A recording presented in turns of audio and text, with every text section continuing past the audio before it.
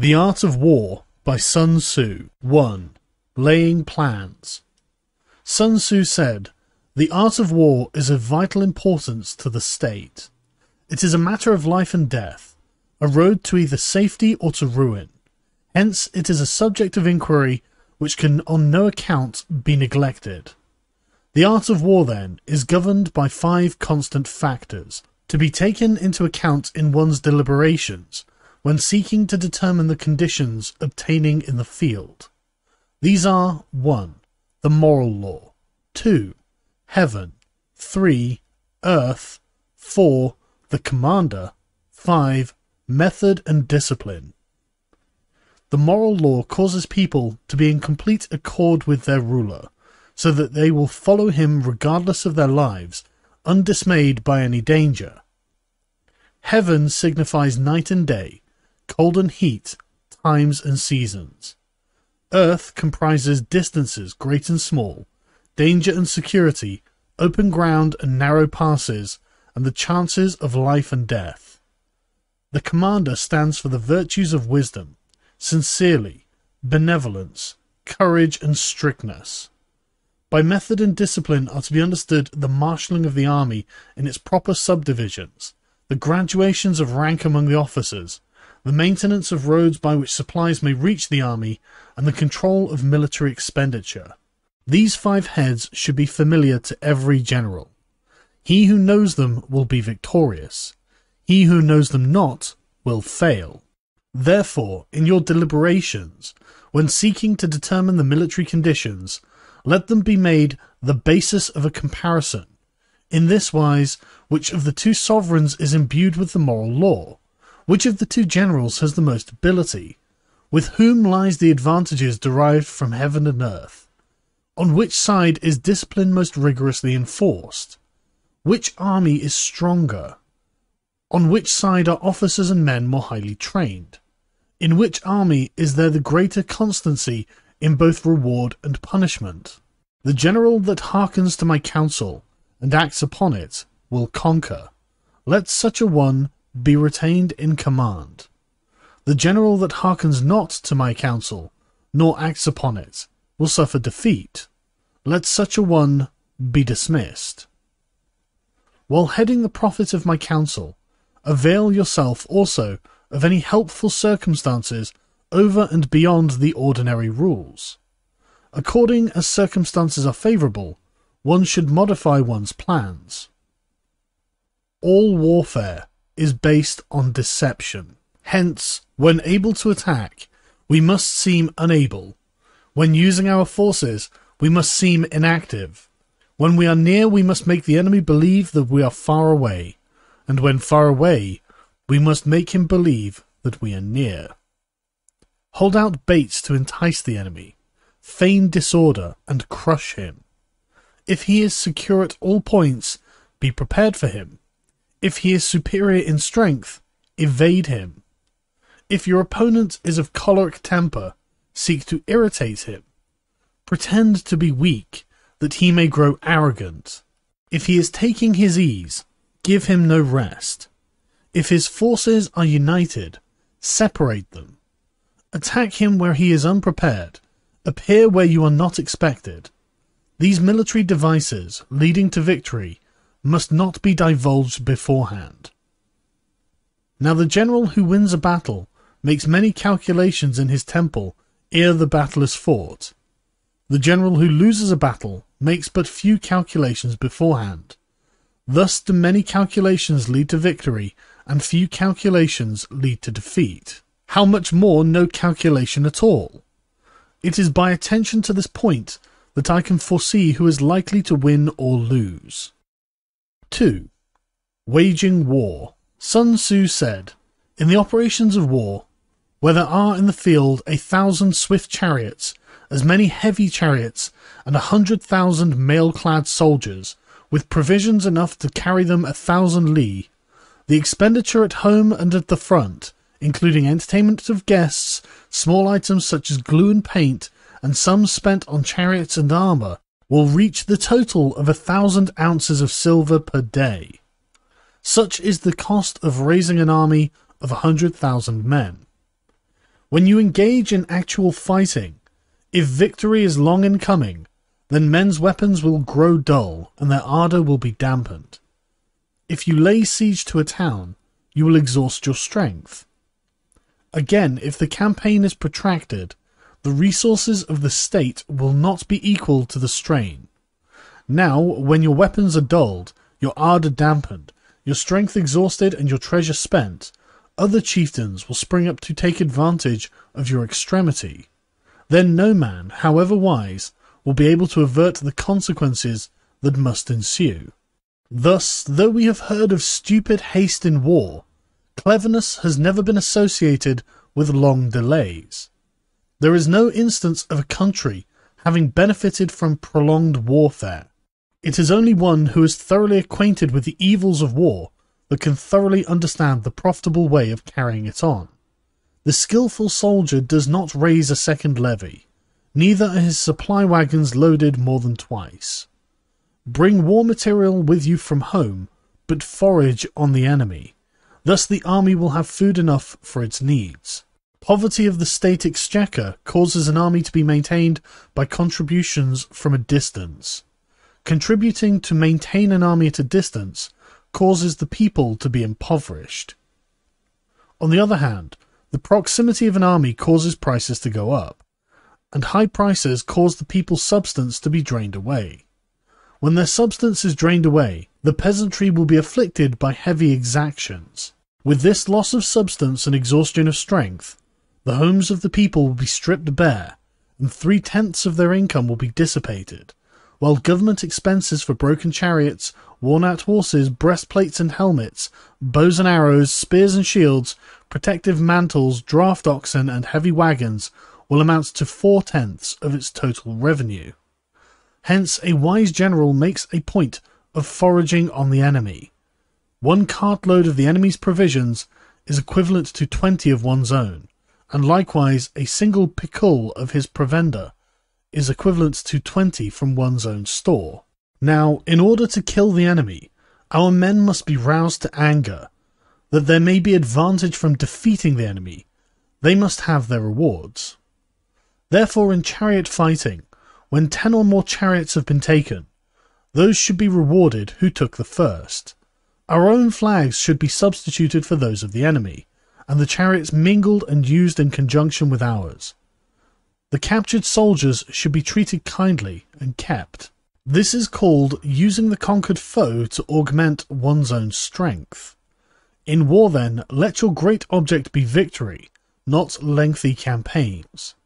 Thus it may be known that the leader of armies is the arbiter of the people's fate, the man on whom it depends whether the nation shall be in peace or in peril. 3. Attack by stratagem. Sun Tzu said, In the practical art of war, the best thing of all is to take the enemy's country whole and intact. To shatter and destroy it is not so good. So too, it is better to recapture an army entire than to destroy it. To capture a regiment, a detachment, or a company entire than to destroy them. Hence, to fight and conquer in all of your battles is not supreme excellence. Supreme excellence consists in breaking the enemy's resistance without fighting. Thus, the highest form of generalship is to balk the enemy's plans.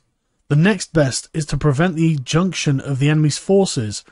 The next in order is to attack the enemy's army in the field, and the worst policy of all is to besiege walled cities. The rule is not to besiege walled cities if it can possibly be avoided. The preparation of mantlets, movable shelters, and other various implements of war will take up three whole months, and the piling up of mounds over and against the walls will take three months more. The general, unable to control his irritation, will launch his men to the assault like swarming ants, with the result that one third of his men are slain, while the town remains untaken. Such are the disastrous effects of a siege. Therefore, the skilful leader subdues the enemy troops without any fighting. He captures their cities without laying siege to them. He overthrows their kingdom without lengthy operations in the field. With his forces intact, he will dispute the mastery of the empire, and thus, without losing a man, his triumph will be complete. This is the method of attacking by stratagem. It is the rule in war, if our forces are 10 to the enemy's 1, to surround him. If 5 to the enemy's 1, attack him. If twice as numerous, divide our army into two. If equally matched, we can offer battle. If slightly inferior in numbers, we can avoid the enemy. If quite unequal in every way, we can flee from him. Hence, though an obstinate fight may be made by a small force, in the end it must be captured by the larger force. Now the general is the bulwark of the state. If the bulwark is complete at all points, the state will be strong. If the bulwark is defensive, the state will be weak. There are three ways in which a ruler can bring misfortune upon his army. 1. By commanding the army to advance or to retreat, being ignorant of the fact that it cannot obey. This is called hobbling the army. 2. By attempting to govern an army in the same way as he administers a kingdom, being ignorant of the conditions which obtain in an army. This causes restlessness in the soldiers' minds. 3. By employing the officers of his army without discrimination, through ignorance of the military principle of adaptation to circumstances. This shakes the confidence of the soldiers. But when the army is restless and distrustful, trouble is sure to come from other feudal princes. This is simply bringing anarchy into the army and flinging victory away. Thus, we may know that there are five essentials for victory. 1. He will win who knows when to fight and when not to fight. 2. He will win who knows how to handle both superior and inferior forces. 3. He will win whose army is animated by the same spirit throughout all its ranks. 4. He will win who, prepared himself, waits to take the enemy unprepared. 5. He will win who has military capacity and is not interfered with by the sovereign. Hence the saying, if you know the enemy and you know yourself, you need not fear the result of a hundred battles. If you know yourself, but not the enemy, for every victory gained you will also suffer a defeat. If you neither know the enemy nor yourself, you will succumb in every battle. 4. Tactical Dispositions Sun Tzu said, The good fighters of old put themselves beyond the possibility of defeat, and then waited for an opportunity of defeating the enemy. To secure ourselves against defeat lies in our own hands, but the opportunity of defeating the enemy is provided by the enemy himself. Thus, the good fighter is able to secure himself against defeat, but cannot make certain of defeating the enemy. Hence the saying, one may know how to conquer without being able to do it. Security against defeat implies defensive tactics. Ability to defeat the enemy means taking the offensive. Standing on the defensive indicates insufficient strength. Attacking, a superabundance of strength. The general who is skilled in defense hides in the most secret recesses of the earth. He who is skilled in attack flashes forth from the topmost heights of heaven. Thus, on one hand, we have the ability to protect ourselves, on the other, a victory that is complete. To see victory only when it is within the ken of the common herd is not the acme of excellence. Neither is it the acme of excellence when you fight and conquer and the whole empire says, Well done. To lift an autumn hair is no sign of great strength. To see the sun and moon is no sign of sharp sight. To hear the noise of thunder is no sign of a quick ear. What the ancients called a clever fighter is one who not only wins, but excels in winning with ease. Hence, his victories bring him neither reputation for wisdom nor credit for courage. He wins his battles by making no mistakes. Making no mistakes is what establishes the certainty of victory, for it means conquering an enemy that is already defeated. Hence, the skillful fighter puts himself into a position which makes defeat seem impossible, and does not miss the moment for defeating the enemy.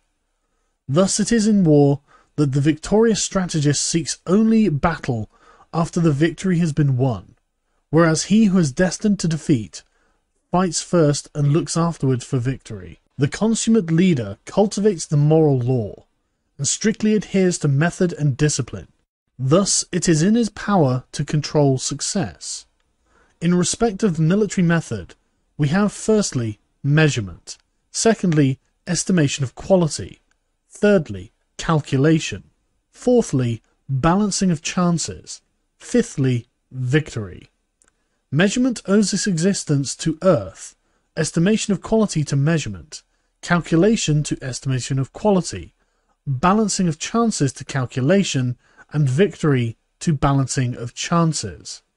A victorious army opposed to a routed one is a pound's weight placed on the scale against a single grain.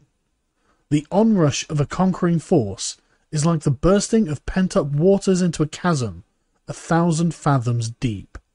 5. Energy. Sun Tzu said, The control of a large force is the same principle as the control of a few men. It is merely a question of dividing up their numbers. Fighting with a large army under your command is nowise different from fighting with a small one. It is merely a question of instituting signs and signals. To ensure that your whole host may withstand the brunt of an enemy's attack and remain unshaken, this is effected by maneuvers, direct and indirect. That the impact of your army may be like a grindstone dashed against an egg, this is affected by the science of weak points and strong. In all fighting, the direct method may be used for joining battle, but indirect methods will be needed in order to secure victory. Indirect tactics, efficiently applied, are inexhaustible as heaven and earth, unending as the flow of rivers and streams, like the sun and moon. They end but to begin anew, like the four seasons they pass away to return once more. There are not more than five musical notes, yet the combination of these five give rise to more melodies than can ever be heard.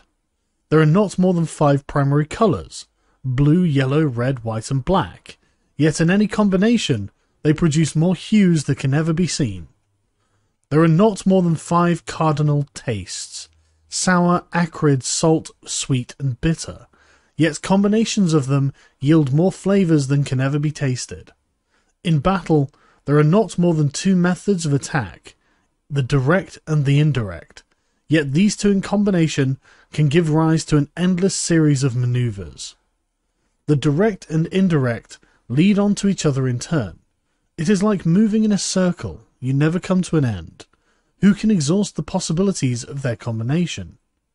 The onset of troops is like the rush of a torrent, which will even roll stones along in its course. The quality of decision is like the well timed swoop of a falcon, which enables it to strike and destroy its victim. Therefore, the good fighter will be terrible in his onset and prompt in his decision. Energy may be likened to the bending of a crossbow, decision to the releasing of a trigger. Amid the turmoil and tumult of battle, there may be seeming disorder, and yet no real disorder at all. Amid confusion and chaos, your array may be without head or tail, yet it will be proof against defeat. Simulated disorder postulates perfect discipline. Simulated fear postulates courage. Simulated weakness postulates strength. Hiding order beneath the cloak of disorder is simply a question of subdivision. Concealing courage under a show of timidity presupposes a fund of latent energy. Masking strength with weakness is to be effected by tactical dispositions. Thus, one who is skilful at keeping the enemy on the move maintains deceitful appearances, according to which the enemy will act. He sacrifices something that the enemy may snatch at it. By holding out baits, he keeps him on the march. Then with a body of picked men he lies in wait for him. The clever combatant looks to the effect of combined energy, and does not require too much from individuals. Hence his ability to pick out the right men and utilize combined energy. When he utilizes combined energy, his fighting men become, as it were, like unto rolling stones or logs, for it is the nature of a log or stone to remain motionless on level ground, and to move when on a slope. If four cornered, it will come to a standstill, but if round shaped, it will go rolling down. Thus, the energy developed by good fighting men is as the momentum of a round stone rolled down a mountain thousands of feet in height. So much on the subject of energy. 6. Weak points and strong. Sun Tzu said, Whoever is first in the field and awaits the coming of the enemy will be fresh for the fight. Whoever is second in the field and has to hasten to battle will arrive exhausted. Therefore, the clever combatant imposes his will on the enemy, but does not allow the enemy's will to be imposed on him. By holding out advantages to him, he can cause the enemy to approach of his own accord, or, by inflicting damage, he can make it impossible for the enemy to draw near. If the enemy is taking his ease, he can harass him. If well supplied with food, he can starve him out. If quietly encamped, he can force him to move. Appear at points which the enemy must hasten to defend. March swiftly to places where you are not expected. An army may march great distances without distress if it marches through the country where the enemy is not. You can be sure of succeeding in your attacks if you only attack places which are undefended. You can ensure the safety of your defense if you only hold positions that cannot be attacked. Hence, the general is skillful in attack whose opponent does not know what to defend, and he is skillful in defense whose opponent does not know what to attack. O divine art of subtlety and secrecy! Through you we learn to be invisible, through you inaudible, and hence we can hold the enemy's fate in our hands. You may advance and be absolutely irresistible if you make for the enemy's weak points. You may retire and be safe from pursuit if your movements are more rapid than those of the enemy. If we wish to fight, we can prevent the enemy from engaging us even though the lines of our encampment be merely traced out on the ground. All we need to do is throw something odd and accountable in his way. By discovering the enemy's dispositions and remaining invisible ourselves, we can keep our forces concentrated while the enemy's must be divided. We can form a single united body while the enemy must split his up into fractions. Hence, there will be a whole pitted against separate parts of a whole, which means that we shall be many to the enemy's few. And if we are able thus to attack an inferior force with a superior one, our opponents will be in dire straits. The spot where we intend to fight must not be made known, for then the enemy will have to prepare against a possible attack at several different points. And if his forces being thus distributed in many directions, the numbers we shall have to face at any given point will be proportionally few. For should the enemy strengthen his van, he will weaken his rear. Should he strengthen his rear, he will weaken his van. Should he strengthen his left, he will weaken his right. Should he strengthen his right, he will weaken his left. If he sends reinforcements everywhere, he will everywhere be weak. Numerical weakness comes from having to prepare against possible attacks numerical strength from compelling our adversary to make these preparations against us. Knowing the place and time of the coming battle, we may concentrate from the greatest distances in order to fight. But if neither the time nor the place be known, then the left wing will be impotent to succour the right, and the right equally impotent to succour the left, the van unable to relieve the rear, or the rear unable to support the van. How much more so if the furthest portions of the army are anything under a hundred li apart, and even the nearest are separated by several li. Though according to my estimate, the soldiers of Yueh exceed our own in number, that shall advantage them nothing in the matter of victory. I say then that victory can be achieved. Though the enemy be stronger in numbers, we may prevent him from fighting. Scheme so as to discover his plans and the likelihood of their success. Rouse him and learn the principle of his activity or inactivity. Force him to reveal himself so as to find out his vulnerable spots.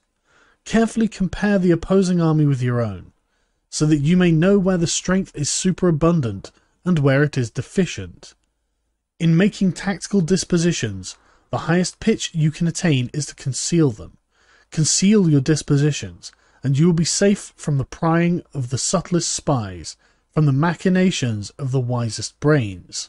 How victory may be produced for them, out of the enemy's own tactics, that is what the multitude cannot comprehend. All men can see the tactics whereby I conquer, but what none can see is the strategy out of which victory is evolved. Do not repeat the tactics which have gained you one victory, but let your methods be regulated by the infinite variety of circumstances. Military tactics are like unto water, for water in its natural course runs away from high places and hastens downwards. So in war, the way is to avoid what is strong and to strike at what is weak. Water shapes its course according to the nature of the ground over which it flows. The soldier works out his victory in relation to the foe whom he is facing. Therefore, just as water retains no constant shape, so in warfare there are no constant conditions. He who can modify his tactics in relation to his opponent, and thereby succeed in winning, may be called a heaven-born captain. The five elements, water, fire, wood, metal, and earth, are not always equally predominant. The four seasons make way for each other in turn. There are short days and long. The moon has its periods of waning and waxing. 7. Maneuvering. Sun Tzu said, In war, the general receives his commands from the sovereign. Having collected an army and concentrated his forces, he must blend and harmonize the different elements thereof before pitching his camp. After that, comes tactical maneuvering, than which there is nothing more difficult. The difficulty of tactical maneuvering consists in turning the devious into the direct, and misfortune into gain. Thus, to take a long and circuitous route after enticing the enemy out of the way, and those starting after him, to contrive to reach the goal before him, shows knowledge of the artifice of deviation. Maneuvering with an army is advantageous, with an undisciplined multitude most dangerous. If you set a fully equipped army in march in order to snatch an advantage, the chances are that you will be too late. On the other hand, to detach a flying column for the purpose involves the sacrifice of its baggage and stores. Thus, if you order your men to roll up their buff coats and make forced marches without halting day or night, covering double the usual distance at a stretch, doing a hundred li in order to wrest an advantage, the leaders of all your three divisions will fall into the hands of the enemy. The stronger men will be in front, the jaded ones will fall behind, and on this plan only one tenth of your army will reach its destination. If you march 50 li in order to outmaneuver your enemy, you will lose the leader of your first division, and only half of your force will reach the goal. If you march 30 li with the same object, two thirds of your army will arrive. We may take it then that an army without its baggage train is lost. Without provisions, it is lost. Without bases of supply, it is lost. We cannot enter into alliances until we are acquainted with the designs of our neighbours. We are not fit to lead an army on the march unless we are familiar with the face of the country its mountains and forests, its pitfalls and precipices, its marshes and swamps. We shall be unable to turn natural advantage to account unless we make use of local guides. In war, practice dissimulation, and you will succeed.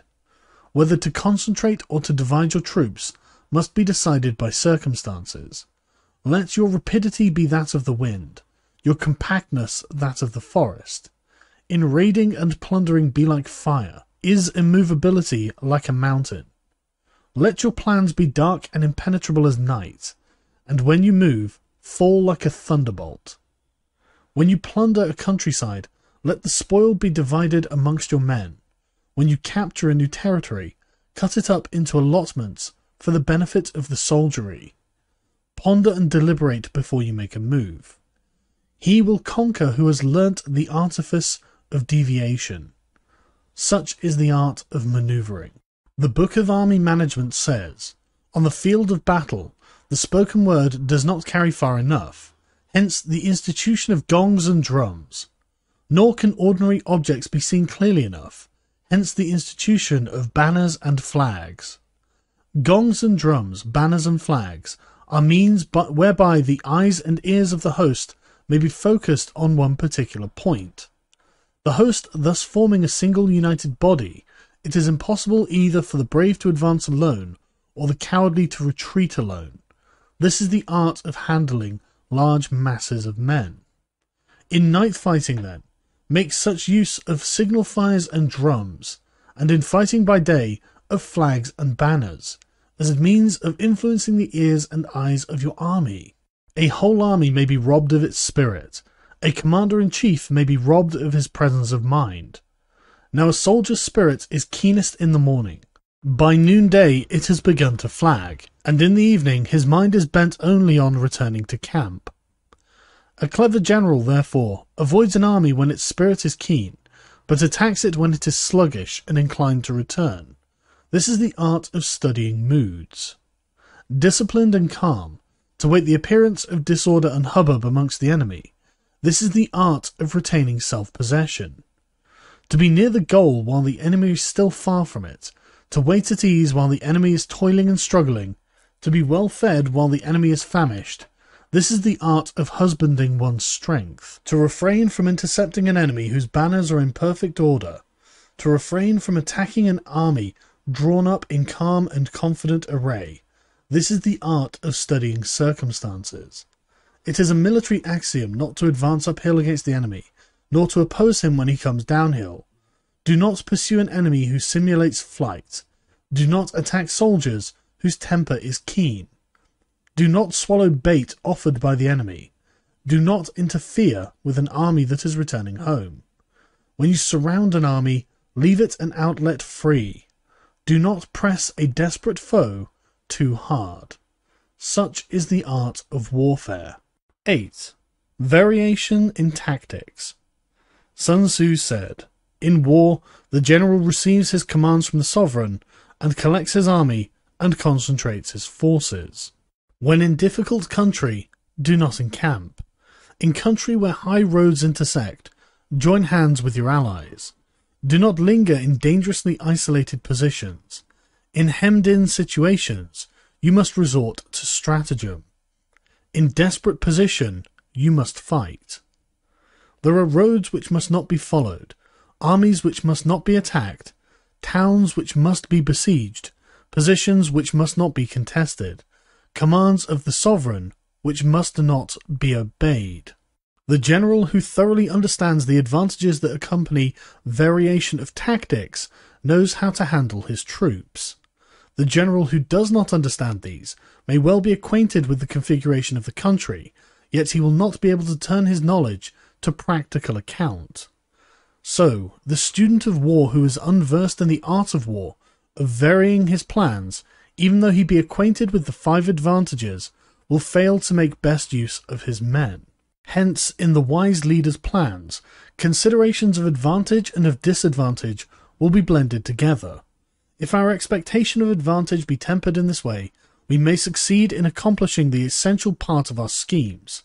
If, on the other hand, in the midst of difficulties we are always ready to seize an advantage, we may extricate ourselves from misfortune reduce the hostile chiefs by inflicting damage on them, and make trouble for them, and keep them constantly engaged, hold out specious allurements, and make them rush to any given point. The art of war teaches us to rely not on the likelihood of the enemy's not coming, but on our own readiness to receive him, not on the chance of his not attacking, but rather on the fact that we have made our position unassailable. There are five dangerous faults which may affect a general. 1. Recklessness, which leads to destruction. 2. Cowardice, which leads to capture. 3. A hasty temper, which can be provoked by insults. 4. A delicacy of honor, which is sensitive to shame. 5. Over solicitude for his men, which exposes him to worry and trouble. These are the five besetting sins of a general, ruinous to the conduct of war. When an army is overthrown and its leader slain, the cause will surely be found amongst these five dangerous faults. Let them be a subject of meditation. 9. The Army on the March. Sun Tzu said, We come now to the question of encamping the army and observing the signs of the enemy. Pass quickly over mountains and keep in the neighborhood of valleys. Camp in high places, facing the sun. Do not climb heights in order to fight. So much for mountain warfare. After crossing a river, you should get far away from it. When an invading force crosses a river on its onward march, do not advance to meet it midstream. It will be best to let half the army get across, and then deliver your attack. If you are anxious to fight, you should not go to meet the invader near a river which he has to cross. Moor your craft higher up than the enemy and facing the sun. Do not move upstream to meet the enemy. So much for river warfare. In crossing salt marshes, your sole concern should be to get over them quickly without any delay. If forced to fight in a salt marsh, you should have water and grass near you, and your back to a clump of trees. So much for operations in salt marshes. In dry, level country, take up an easily accessible position with rising ground to your right and on your rear, so that the danger may be in front and safety lie behind. So much for campaigning in flat country. These are the four useful branches of military knowledge which enabled the Yellow Emperor to vanquish four several sovereigns. All armies prefer high ground to low, and sunny places to dark. If you are careful of your men and camp on hard ground, the army will be free from disease of every kind, and this will spell victory. When you come to a hill or a bank, occupy the sunny side, with the slope on your right rear. Thus you will at once act for the benefit of your soldiers and utilize the natural advantages of the ground. When, in consequence of heavy rains up country, a river you wish to ford is swollen and flecked with foam, you must wait until it subsides. Country in which there are precipitous cliffs, with torrents running between, deep natural hollows, confined places, tangled thickets, quagmires, and crevasses, should be left with all possible speed and not approached. While we keep away from such places, we should get the enemy to approach them. While we face them, we should let the enemy have them on his rear. If in the neighbourhood of your camp there should be any hilly country, ponds surrounded by aquatic grass, hollow basins filled with reeds or woods with thick undergrowth, they must be carefully routed out and searched, for these are places where men in ambush or insidious spies are likely to be lurking. When the enemy is close at hand and remains quiet, he is relying on the natural strength of his position. When he keeps aloof and tries to provoke a battle, he is anxious for the other side to advance. If his place of encampment is easy of access, he is tendering a bait. Movement amongst the trees of a forest shows that the enemy is advancing. An appearance of a number of screens in the midst of thick grass means that the enemy wants to make us suspicious. The rising of birds in their flight is the sign of an ambuscade. Startled beasts indicate that a sudden attack is coming. When there is dust rising in a column, it is the sign of chariots advancing. When the dust is low but spread over a wide area, it betokens the approach of infantry. When it branches out in several different directions, it shows that parties have been sent to collect firewood. A few clouds of dust moving to and fro signify that the army is encamping. Humble words and increased preparations are the signs that the enemy is about to advance. Violent language and driving forward as if to the attack are signs that he will retreat. When the light chariots come out first and take up a position on the wings, it is a sign that the enemy is forming for battle. Peace proposals, unaccompanied by a sworn covenant, indicate a plot. When there is much running about and soldiers fall into rank, it means that the critical moment has come. When some are seen advancing and some retreating, it is a lure. When the soldiers stand leaning on their spears, they are faint from want of food. If those who are sent to draw water begin by drinking themselves, the army is suffering from thirst. If the enemy sees an advantage to be gained and makes no effort to secure it, the soldiers are exhausted. If birds gather on any spot, it is unoccupied. Clamour by night betokens nervousness. If there is a disturbance in the camp, the general's authority is weak. If the banners and flags are shifted about, sedition is afoot. If the officers are angry, it means that the men are weary. When an army feeds its horses with grain and kills its cattle for food, and when the men do not hang their cooking pots over the campfires, showing that they will not return to their tents, you may know that they are determined to fight to the death. The sight of men whispering together in small knots, or speaking in subdued tones, points to dissatisfaction amongst the rank and file. Too frequent rewards signify that the enemy is at the end of his resources. Too many punishments betray a condition of dire distress. To begin by bluster, but to afterwards take fright at the enemy's numbers, shows a supreme lack of intelligence. When envoys are sent with compliments in their mouths, it is a sign that the enemy wishes for a truce. If the enemy's troops march up angrily and remain facing ours for a long time without either joining battle or taking themselves off again, the situation is one that demands great vigilance and circumspection. If our troops are no more in number than the enemy, that is amply sufficient. It only means that no direct attack can be made. What we can do is simply to concentrate all our available strength, keep a close watch on the enemy, and obtain reinforcements. He who exercises no forethought, but makes light of his opponents, is sure to be captured by them. If soldiers are punished before they have grown attached to you, they will not prove submissive, and unless submissive, then will be practically useless. If, when the soldiers have become attached to you, punishments are not enforced, they will still be useless. Therefore, soldiers must be treated in the first instance with humanity, but kept under control by means of iron discipline. This is a certain road to victory. If in training soldiers' commands are habitually enforced, the army will be well disciplined, if not, its discipline will be bad.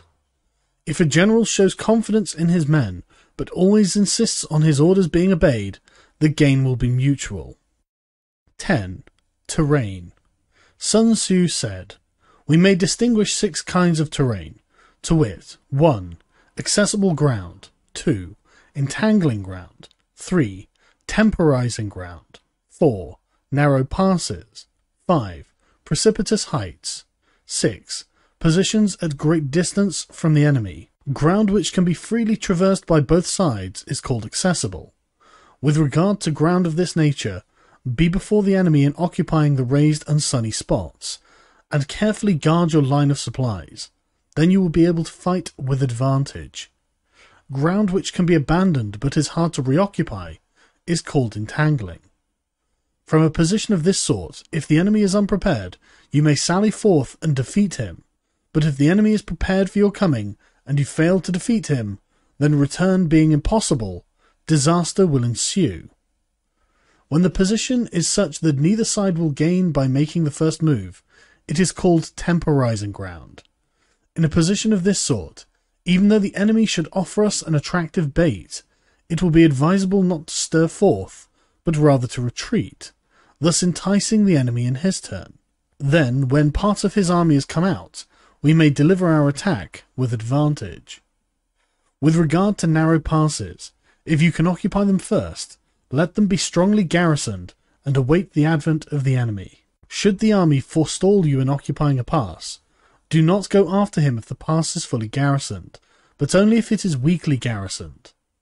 With regard to precipitous heights, if you are beforehand with your adversary, you should occupy the raised and sunny spots and wait for him to come up. If the enemy has occupied them before you, do not follow him, but retreat and try to entice him away. If you are situated at a great distance from the enemy, and the strength of the two armies is equal, it is not easy to provoke a battle, and the fighting will be to your disadvantage. These are the six principles connected with the earth. The general who has attained a responsible post must be careful to study them. Now an army is exposed to six several calamities, not arising from natural causes, but from the faults from which the general is responsible. These are 1. Flight 2. Insubordination 3. Collapse 4. Ruin 5. Disorganization and 6. Rout. Other conditions being equal, if one force is hurled against another ten times its size, the result will be the flight of the former. When the common soldiers are too strong and their officers too weak, the result is insubordination. When the officers are too strong and the common soldiers too weak, the result is collapse. When the higher officers are angry and insubordinate, and on meeting the enemy give battle on their own account from a feeling of resentment, before the commander in chief can tell whether or no he is in a position to fight, the result is ruin. When the general is weak and without authority, when his orders are not clear and distinct, when there are no fixed duties assigned to officers and men, and the ranks are formed in a slovenly and haphazard manner, the result is utter disorganization. When a general, unable to estimate the enemy's strength, allows an inferior force to engage a larger one, or hurls a weak detachment against a powerful one, and neglects to place picked soldiers in the front rank, the result must be a rout. These are the six ways of courting defeat, which must be carefully noted by the general who has attained a responsible post. The natural formation of the country is the soldier's best ally, but a power of estimating the adversary, of controlling the forces of victory, and of shrewdly calculating the difficulties, dangers, and distances constitutes the great test of a general. He who knows these things and in fighting puts his knowledge into practice will win his battles. He who knows them not, nor practices them, will surely be defeated. If fighting is so sure to result in victory, then you must fight, even though the ruler forbid it. If fighting will not result in victory, then you must not fight, even at the ruler's bidding.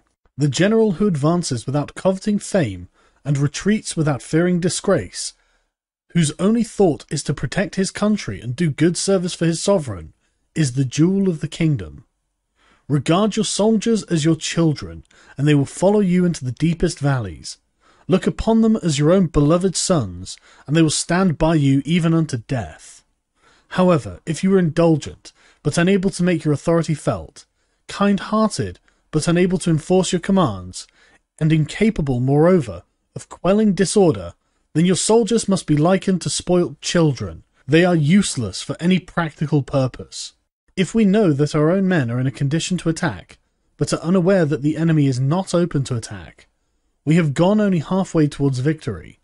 If we know that the enemy is open to attack, but are unaware that our own men are not in a condition to attack, we have gone only halfway towards victory.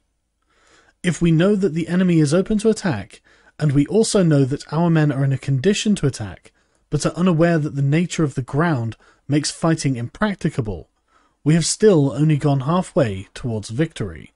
Hence, the experienced soldier, in one motion, is never bewildered. Once he has broken camp, he is never at a loss. Hence the saying, if you know your enemy, and you know yourself, your victory will not stand in doubt. If you know heaven and you know earth, you may make your victory complete. 11. The Nine Situations. Sun Tzu said, The art of war recognizes nine varieties of ground.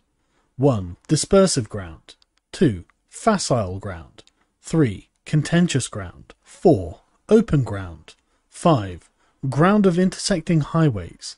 6. Serious ground. 7. Difficult ground. 8. Hemmed in ground. And 9 desperate ground. When a chieftain is fighting in his own territory, it is dispersive ground. When he has penetrated into hostile territory, but to no great distance, it is facile ground. Ground the possession of which imports great advantage to either side, it is contentious ground. Ground on which either side has liberty of movement is open ground. Ground which forms the key to three contiguous states, so that he who occupies it first has the most of the empire at his command, is a ground of intersecting highways. When an army has penetrated into the heart of a hostile country, leaving a number of fortified cities in its rear, it is serious ground. Mountain forests, rugged steeps, marshes and fens, all country that is hard to traverse, this is difficult ground. Ground which is reached through narrow gorges, and from which we can only retire by tortuous paths, so that a small number of the enemy would suffice to crush a large body of our men. This is hemmed in ground. Ground on which we can only be saved from destruction by fighting without delay is desperate ground. On dispersive ground, therefore, fight not. On facile ground, halt not. On contentious ground, attack not. On open ground, do not try to block the enemy's way. On the ground of intersecting highways, join hands with your allies. On serious ground, gather in plunder. On difficult ground, keep steadily on the march. On hemmed in ground, resort to stratagem. On desperate ground, fight. Those who were called skilful leaders of old knew how to drive a wedge between the enemy's front and rear, to prevent cooperation between his large and small divisions, to hinder the good troops from rescuing the bad, from the officers from rallying their men. When the enemy's men were united, they managed to keep them in disorder. When it was to their advantage, they made a forward move. When otherwise, they stopped still. If asked how to cope with a great host of the enemy in orderly array and on the point of marching to the attack, I should say, begin by seizing something which your opponent holds dear. Then he will be amenable to your will. Rapidity is the essence of war. Take advantage of the enemy's unreadiness. Make your way by unexpected routes and attack unguarded spots. The following are the principles to be observed by an invading force. The further you penetrate into a country, the greater will be the solidarity of your troops, and thus the defenders will not prevail against you. Make forays into fertile country in order to supply your army with food. Carefully study the well-being of your men, and do not overtax them. Concentrate your energy and hoard your strength. Keep your army continually on the move, and devise unfathomable plans. Throw your soldiers into positions whence there is no escape, and they will prefer death to flight. If they will face death, there is nothing that they may not achieve. Officers and men alike will put forth their utmost strength. Soldiers, when in desperate straits, lose the sense of fear. If there is no place of refuge, they will stand firm. If they are in hostile country, they will show a stubborn front. For if there is no help for it, they will fight hard. Thus, without waiting to be marshalled, the soldiers will constantly be on the qui vive. Without waiting to be asked, they will do your will. Without restrictions, they will be faithful. Without giving orders, they can be trusted. Prohibit the taking of omens, and do away with superstitious doubts. Then, until death itself comes, no calamity need be feared. If our soldiers are not overburdened with money, it is not because they have a distaste for riches. If their lives are not unduly long, it is not because they are disinclined to longevity. On the day they are ordered out to battle, your soldiers may weep, those sitting up bedewing their garments, and those lying down letting the tears run down their cheeks. But let them once be brought to bay, and they will display the courage of a Chu or a Q. The skilful tactician may be likened to the Shuai Yuan. Now the Shuai Yuan is a snake that is found amongst the Chuung Mountains. Strike at its head, and you will be attacked by its tail. Strike at its tail, and you will be attacked by its head. Strike at its middle, and you will be attacked by head and tail both. Asked if an army can be made to imitate the Shuai Wan, I should answer yes, for the men of Wu and the men of Yueh are enemies, yet if they are crossing a river in the same boat and are caught by a storm, they will come to each other's assistance, just as the left hand helps the right. Hence, it is not enough to put one's trust in the tethering of horses and the burying of chariot wheels into the ground. The principle on which to manage an army is to set up one standard of courage which all must reach. How to make the best of both strong and weak, that is a question involving the proper use of ground. Thus, the skilful general conducts his army just as though he were leading a single man, willy-nilly by the hand. It is the business of a general to be quiet, and thus ensure secrecy, upright and just, and thus maintain order. He must be able to mystify his officers and men by false reports and appearances, and thus keep them in total ignorance. By altering his arrangements and changing his plans, he keeps the enemy without definite knowledge. By shifting his camp and taking circuitous routes, he prevents the enemy from anticipating his purpose. But at the critical moment, The leader of an army acts like one who has climbed up a height and then kicks away the ladder behind him. He carries his men deep into hostile territory before he shows his hand. He burns his boats and breaks his cooking pots like a shepherd driving a flock of sheep. He drives his men this way and that, and knows nothing whither he is going. To muster his host and bring it into danger, this may be termed the business of a general. The different measures suited to the nine varieties of ground, the expediency of aggressive or defensive tactics, the fundamental laws of human nature, these are the things that must most certainly be studied. When invading hostile territory, the general principle is that penetrating deeply brings cohesion, but penetrating but a short way means dispersion. When you leave your own country behind and take your army across neighborhood territory, you find yourself on critical ground. When there are means of communication on all four sides, the ground is one of intersecting highways. When you penetrate deeply into a country, it is serious ground. But when you penetrate a little way, it is facile ground. When you have the enemy's strongholds on your rear and narrow passes in front, it is hemmed in ground. Where there is no place of refuge at all, it is desperate ground. Therefore, on dispersive ground, I would inspire my men with unity of purpose. On facile ground, I would see to it that there is close connection between all parts of my army. On contentious ground, I would hurry up my rear. On open ground, I would keep a vigilant eye on my defences. On ground of intersecting highways, I would consolidate my alliances. On serious ground, I would try to ensure a continuous stream of supplies. On difficult ground, I would keep pushing along the road. On hemmed in ground, I would block any way of retreat. On desperate ground, I would proclaim to my soldiers the hopelessness of saving their lives. For it is the soldier's disposition to offer an obstinate resistance when surrounded, to fight hard when he cannot help himself, and to obey promptly when he has fallen into danger. We cannot enter into an alliance with neighbouring princes until we are acquainted with their designs. We are not fit to lead an army on the march unless we are familiar with the face of the country, its mountains and forests, its pitfalls and precipices, its marshes and swamps. We shall be unable to turn natural advantages to account unless we make use of local guides. To be ignored in any one of the following four or five principles does not befit a warlike prince. When a warlike prince attacks a powerful state, his generalship shows itself in preventing the concentration of the enemy's forces. He overawes his opponents, and their allies are prevented from joining against him. Hence, he does not strive to ally himself with all and sundry, nor does he foster the power of other states. He carries out his own secret designs, keeping his antagonists in awe. Thus, he is able to capture their cities and overthrow their kingdoms. Bestow rewards without regard to rule. Issue orders without regard to previous arrangements. And you will be able to handle a whole army as though you had to do but a single man. Confront your soldiers with the deed itself. Never let them know your design.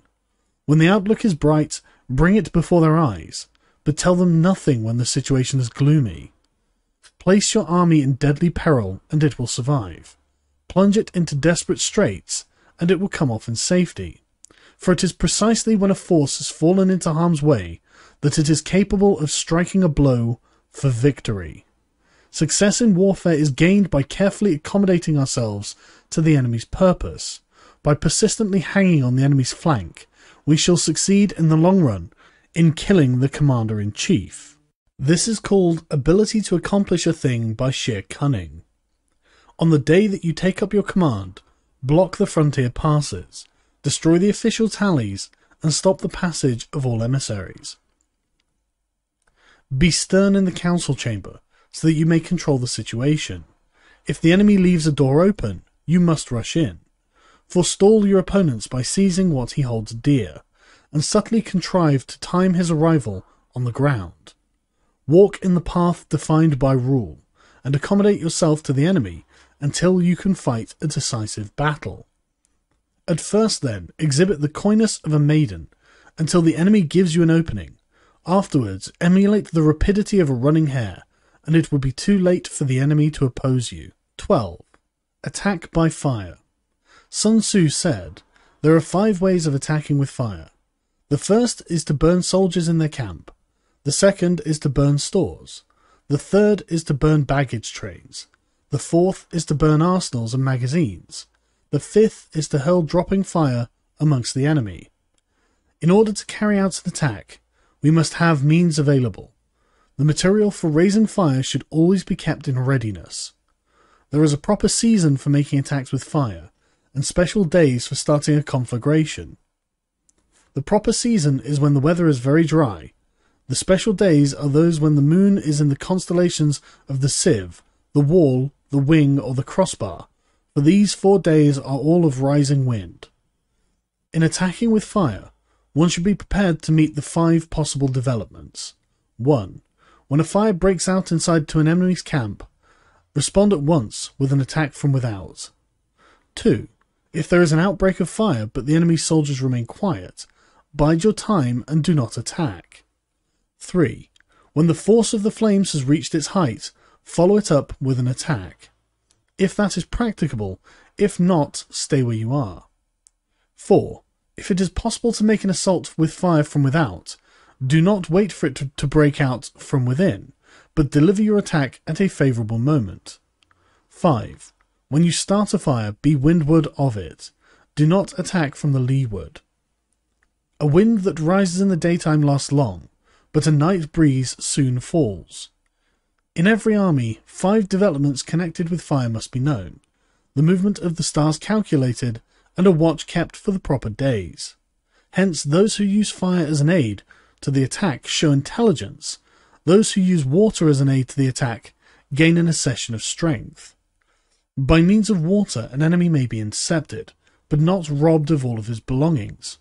Unhappy is the fate of one who tries to win his battles and succeed in his attacks without cultivating the spirit of enterprise, for the result is a waste of time and general stagnation. Hence the saying, the enlightened ruler lays his plans well ahead, the good general cultivates his resources. Move not unless you see an advantage. Use not your troops unless there is something to be gained. Fight not unless the position is critical. No ruler should put troops into the field merely to gratify his own spleen. No general should fight a battle simply out of pique. If it is to your advantage, make a forward move. If not, stay where you are. Anger may in time change to gladness. Vexation may be succeeded by content. But a kingdom that has once been destroyed can never again come into being, nor can the dead ever be brought back to life. Hence the enlightened ruler is heedful, and the good general full of caution. This is the way to keep a country at peace and an army intact. 13. The use of spies. Sun Tzu said, Raising a host of a hundred thousand men and marching them great distances entails heavy loss on the people and a drain on the resources of the state. The daily expenditure will amount to a thousand ounces of silver. There will be a commotion at home and abroad, and men will drop down exhausted on the highways. As many as 700,000 families will be impeded in their labour. Hostile armies may face each other for years, striving for the victory which is decided in a single day. This being so, to remain in ignorance of the enemy's condition, simply because one grudges the outlay of a few hundred ounces of silver in honours and emoluments, is the height of inhumanity. One who acts thus is no leader of men, no present help to his sovereign, and no master of victory. Thus, what enables the wise sovereign and the good general to strike and conquer and achieve things beyond the reach of ordinary men is foreknowledge. Now, this foreknowledge cannot be elicited from spirits, it cannot be obtained inductively from experience, nor by any deductive calculation. Knowledge of the enemy's dispositions can only be obtained from other men. Hence the use of spies, who there are five classes. 1. Local spies. 2. Inward spies. 3. Converted spies. 4. Doomed spies. 5. Surviving spies. When these five kinds of spy are all at work, None can discover the secret system. This is what is called divine manipulation of the threads. It is the sovereign's most precious faculty. Having local spies means employing the services of inhabitants of a district. Having inward spies making use of the officials of the enemy, having converted spies, getting hold of the enemy spies and using them for our own purposes, having doomed spies, doing certain things openly for purposes of deception, and allowing our spies to know of them and report them to the enemy. Surviving spies are finally those who bring back news from the enemy's camp. Hence it is that which none in the whole army are more intimate relations to be maintained than with spies. None should be more liberally rewarded. In no other business should greater secrecy be preserved. Spies cannot be usefully employed without a certain intuitive sagacity. They cannot be properly managed without benevolence and straightforwardness.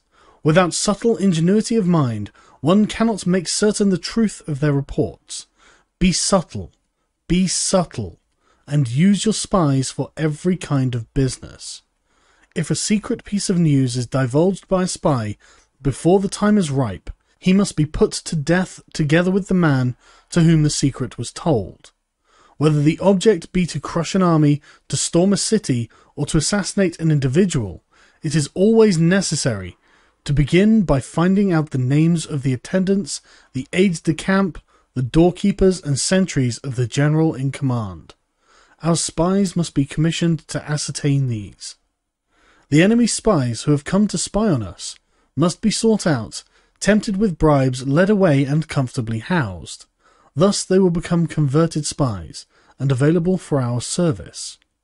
It is through the information brought by the converted spy that we are able to acquire and employ local and inward spies.